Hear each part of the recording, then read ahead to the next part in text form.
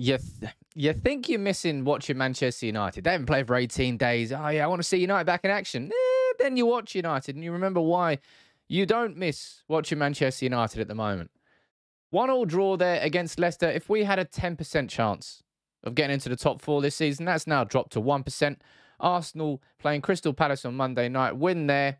They're cruising. Top four, dead and buried. This team, they look dead and buried. This season is dead and buried. Where do we go from here? What do we do next? How can we possibly get to the end of the season quicker than we possibly can? That's what it seems like. Today we had no Cristiano Ronaldo. He had illness. We had no Cavani. Of course he didn't. He was injured. Of course he was.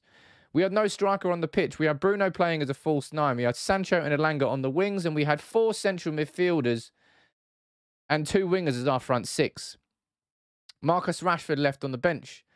Says a lot, really, about how much Ralf Rangnick doesn't trust Marcus Rashford. And that game in itself was just. It was it was exactly what you probably thought it was going to be. I don't think anybody's coming away from that game with any level of surprise at all, really. First 15 minutes, 20 minutes, first half, a tragically bad game of Premier League football from both teams. Both Leicester and Manchester United, no panache, no tempo in the passes. McTominay, was he lucky to avoid a red card? I didn't think so in the first instance, but then watching it back on the replay, studs were high. If it was given as a red card, you wouldn't massively begrudge the referee. Looking at the uh, player ratings, they've gone for Fred with a 7.9. I'll tell you what, pa- Pastor Fred, there's not that many players who can come out with any sort of credit this season for a Manchester United player. Fred is one of those players. Today, again, uh, he's so much better when he plays as a higher midfielder on the pitch. But today really isn't the day to talk about individual performances. It's just, I can't believe, genuinely, I can't believe that at the start of the season, I thought this team was one midfielder away from competing for the Premier League. I genuinely felt like I, I properly felt and, and believed that. And look at us now. I feel disjointed from the team again. How can Manchester United have such a swing in the season? I think it's sort of symptomatic of where we are as a football club, and the swings that we have are just huge. When you win, it's the best thing in the world. When you lose, ah, sack everybody, get rid of every player, let's start again when you're looking at that team there and you're looking at the performances from everybody and you're looking at who played well, as I said, I don't really want to focus on individuals, but I'll tell you one thing I would say. What are you doing, Anthony Elanga? Why are you tackling Marcus Rashford at the end there? My God. Marcus Rashford was a bit of a ghost, but he was on the verge of scoring what would have been a wonderful winner. Looked like he probably would have scored if Elanga wasn't there. That was a weird decision. Anthony, what are you doing? What are you doing, son? Get out of the goddamn way. VAR was probably our second man in the match, the second best player on the, on the pitch there behind Fred. It was it was definitely a foul on Varane uh, when he got his leg swept by Iheanacho. But if we're looking at how we played there today, they've got it down as a 4-2-3-1 there. It wasn't really. It was a 4-2-2 in the first half. Pogba was playing up alongside Bruno Fernandes. Manchester United without Ronaldo, without Cavani, without Martial, who's out on loan, and of course without Greenwood and no Rashford on the pitch. We had no striker on the team, and we didn't know what to do. We didn't know what to do. I said it before the game. I was hoping that today we were going to see a bit of a blinder from Bruno Fernandes because I felt like we needed a like a properly mature performance from him as number nine. Man City can play that formation there, the false nine, and they can do it so well. And the reason it works is because they genuinely, properly, as a team, collective press. And when you press like that and you win the ball high up the pitch, in the first half, the only time we had a real big opportunity was when Fred intercepted the pass, slid Bruno through. Very tame shot from Bruno. Schmeichel swept it away with his legs. The false nine works when you play like a proper team, collective unit, everybody's pressing properly. And it's just the fact of the matter is, we've never really truly looked like a collective unit under Ralf Rangnick. Is that down to the manager? Is that down to the players? The chicken or the egg? And the fucking argument I'm bored of having as a Manchester United fan. Because as I said, I cannot believe that, honestly, I, I feel like I'm sort of deluded. And the fact that I thought it, that I was so categorically wrong. I felt this team was one midfielder away from competing for the Premier League. And I compare that thought now to looking at that team there and thinking about how far that team is away from competing from the Premier League. And it is light years. It's light years. And nothing's going to change between now and the end of the season. If the players aren't going to respond for the Atletico Madrid game, if the players aren't going to respond for games against uh, Man City, uh, if they're not going to respond for those games, and they're not going to respond today there against Leicester in a game where realistically, if you're going to hold on to the coattails of anything this season, you're holding on to that 10% chance you might get into the top four if Arsenal decide to mess it all up and Spurs also at the same time.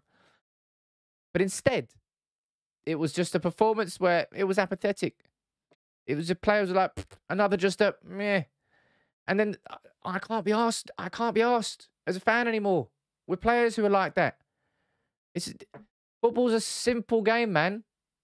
All you got when it comes to relationships between fans and players, the easiest way to make that bond is just to look like you're giving a fuck on the pitch. All right? Players get forgiven. Fred's worked his socks off to get back into this position. And not only is he working his socks off now, but he's actually doing match changing performances last two games as well. Like uh, fantastic against Atletico Madrid. Remember that skill he did? But just not the, not just that. It was the overall intensity and the tenacity that he shows, and it stands out like a sore thumb among a team of passengers. And it's happened all season long. Sancho and Marcus Rashford both left out of the England squad. And, and there today we saw two players who just looked bereft of confidence. And Sancho was looking red hot before the international break. It was so long ago, it was nearly a fucking month ago. But that team there today, they. Sh- I think Leicester will probably feel hard done by. You know, because of that goal they got disallowed, they're going to think, oh, why wasn't McTominay sent off for the red card? VAR is working against us, XYZ. Overall, a draw is probably a fair result. But it was a crap draw. It was a crap performance from United. It was a largely crap performance. Yeah, it was actually quite largely ineffective from Leicester, is what I would call their performance. But United, just from front to back, just crap. Just another, and add that game to 10, 15, 20, hell, even 30 games this season in all competitions where you just watch United and you go, it's happened again. It's happened again. Another passive performance for United where they just let the, the game pass them by. They don't want to take control of it. They don't want to conduct the orchestra. They don't want to lead. They just want to go and wait and get to the 90th minute as quickly as possible by putting in the least amount of effort as possible, the minimum, the minimum requirements. As I said, it's like passing first year at uni. You've got to get 40%. You don't really care. But you show up, you're like, hello, here I am. That's how Manchester United players play so much. And what will change that? Will Erik Ten Hag come in? Will Mauricio Pochettino come in with a magic wand and change all that? Hell no, they will not. They're, you're looking at a mentality that has festered itself like the upside down in Stranger Things. And it's hard to get rid of. Do we have an 11? Who's going to be our 11? We need one of those. Jeez. We need someone with psychic powers to come in and really just get rid of the. I don't know. It's like a dark shadow, a cloud that's just been in our club for a long, long time and the optimism of, of certain points this season just gets swept away like a crashing wave. I feel like I, I, I don't know. I'm chatting shit now. I really am. But just watching that game, 18 days we waited for that. 18 days to see United back in action. 18 days to go. You know what? Fuck it. Let's have a let's have a strong end to the season, man. I know we're out of the Champions League. I know we're realistically probably not going to be getting top four, but let's let's just try and do this, eh? Let's for next like five, six, seven games. How many games we got left? Let's push. Let's see how much we can get out of this team. Instead, United came out there and they had one foot in the spa on the first minute. They just didn't want to commit themselves. They didn't want to overexert themselves. They didn't really want to get out of second gear. And I tell you what, tactically, it just didn't work today at all. Missing Ronaldo, missing Cavani, and not having a centre forward. Bruno Fernandes was operating as a false nine, but then he was on left wing. He was right wing. Positional discipline has always been a bit of a weakness of his game. And if you're going to play him in the false nine position, you can't expect to ever have somebody in the box. And it happened to United like five, six, seven times today where we had the ball, we were going forward. There are, there's nobody in the box. Ah, okay, well, I have to pass it backwards. And that kept repeating itself, repeating itself, allowing Leicester to drop deep into their shape again. And United just had no penetration whatsoever. Limp performance. United, I'm not fortunate to get the draw. I think the draw is a fair result, but it was just damp squib.